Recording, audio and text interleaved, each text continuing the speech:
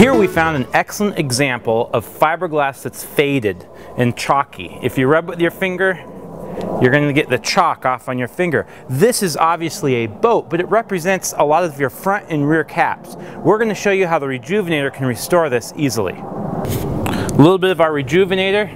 We're going to work a small area. Typically, I would do the colored area separate from any area of pure white.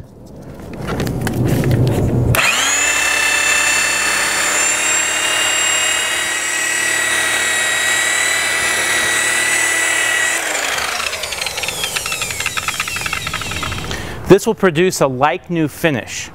Let's review the steps that we just did.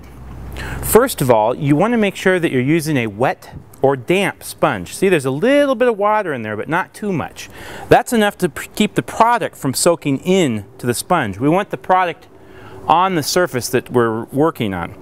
Also, never put the product directly on your buffer if you're using a buffer or try squirting it on the side. We want it on the sponge. This is a useful tool.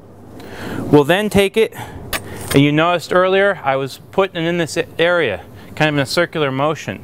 What I'm trying to do is not rub, I'm just spreading it evenly over this area. Next, we took the buffer and we worked the product in at an angle while it's wet. With compounds, they do no good if they're dry. I'm going to go ahead and buff this out.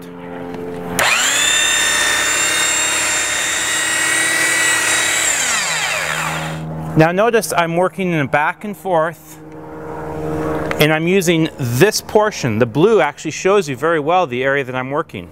We're not working with the machine flat because what tends to happen is this side cleans the product off and then this side has no product to work with.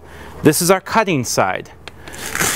The pad we use is about, this one's a 7 inch cutting pad, alright? 7 inch wool cutting pad is what you need for this process and with fiberglass. Don't be concerned about using foam, don't get fancy and use a finishing pad. You want a true cutting pad. One other Last item I'd like to point out. When you're done with your sponge, you're going to keep it in a Ziploc bag such as this. That way, we're not wasting product. Zip it up and it's ready for next time. Now remember, the Rejuvenator is a one-step process, and what we mean by that is it contains wax. However, the wax that we use in order to achieve this shine is a Carnauba wax. The downside of that wax is it only lasts approximately three months. That's okay. We have a nice shine. We just know that in three months, we're going to need to go over it with a nice polymer such as our Wade wax.